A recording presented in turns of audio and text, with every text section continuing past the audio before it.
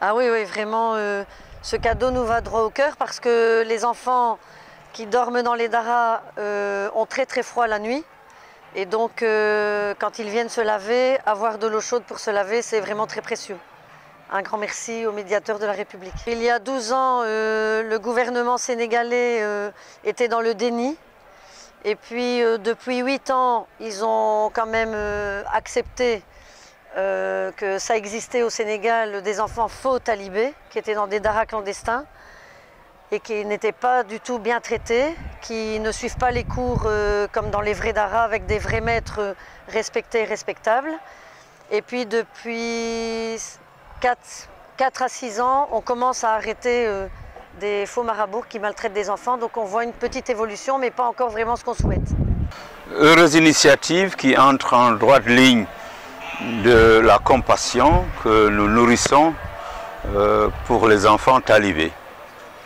Entre également dans le cadre d'une convention qui nous a unis euh, d'un point de vue scriptural avec Action Sénégal, mais d'un point de vue cordial avec Néné Camara depuis bientôt une quinzaine d'années.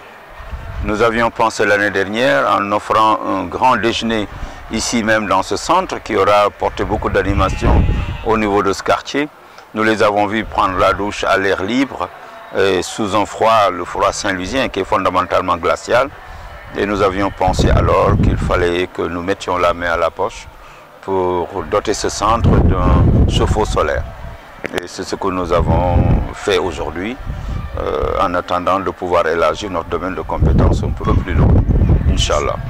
Il me semble que c'est une initiative heureuse, une initiative heureuse qu'il faut saluer parce que ce sont euh, des personnes, des hommes et des femmes venus de la lointaine Belgique qui viennent porter secours à nos propres enfants.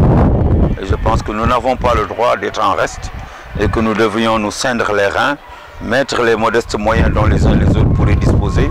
En les additionnant, on peut avoir des centres de transit très temporaires, à durée extrêmement limitée, pour que ces enfants d'abord rejoignent leur domicile, pour que ces enfants soient scolarisés, scolarisés dans la, en langue française, scolarisés également à l'école coranique.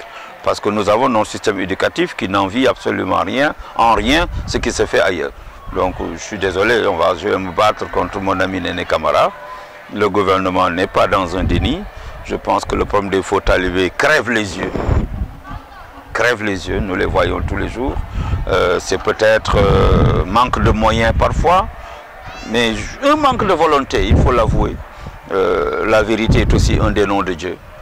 Mais je, suis persuadé que si des actes de cette nature sont faits par les uns les autres, euh, mis à la consommation du public euh, sénégalais, je suis sûr que de plus en plus, ou de moins en moins, pardon, on verrait les enfants